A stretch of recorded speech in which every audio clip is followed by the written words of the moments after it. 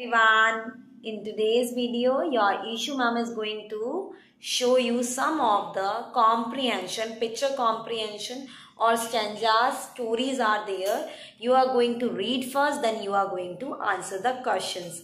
Options are given so let's start with the video. First of all do like share subscribe to my channel. So let's start the video without any delay.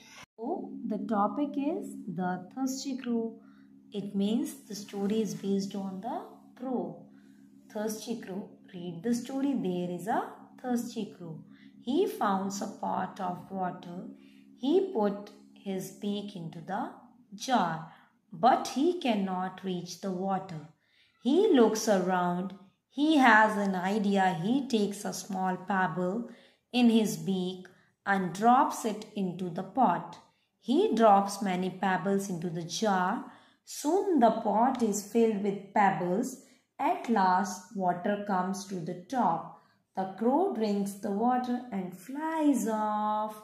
Now, we read the story. We are going to answer the question. Choose the correct options and complete the sentences.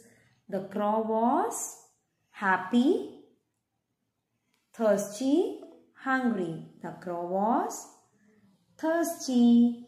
The crow found a dash of water. Pan, bottle, pot.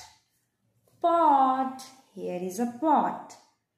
The crow cannot reach the water with his beak, foot, tongue. Beak. The crow drops many small dash into the pot. What was that? Stones, pebbles, rocks. Pebbles.